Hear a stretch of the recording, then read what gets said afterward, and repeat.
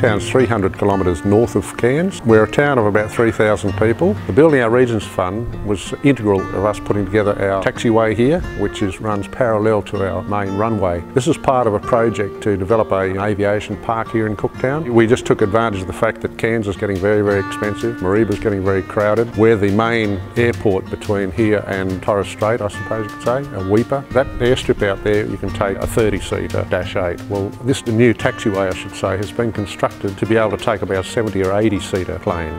And as a result of doing that, we've now got private enterprise where we're standing right now have invested well over a million dollars to build this beautiful facility here, which is a service maintenance type engineering hangar and also a charter operation as well. The BOR funding has really been the fillet to allow us to move ahead, get things happening on the ground and letting people see that the opportunity is going to be there. There's always been an interest in um, people wanting to develop aviation businesses at the Cooktown Airport. Our airports have become a little bit busier, so Council are putting on more staff to work at our airports to fill in that sort of gap as well. There's been a lot of interest generated because of the taxiway. I can really see that the Cooktown Airport's going to get busier in the future, so there's no doubt that there's going to be more jobs related to this taxiway.